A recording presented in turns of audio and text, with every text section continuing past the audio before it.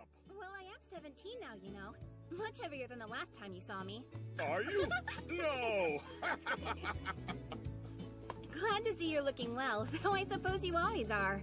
Wait, this is. All Might's old friend? They must have met when she was just a kid or something. Or maybe her quirk makes her look young. and Dave, where's he hiding? oh, he's in his lab. He had a breakthrough on some research he's been focusing on for years. Actually, he has no idea you're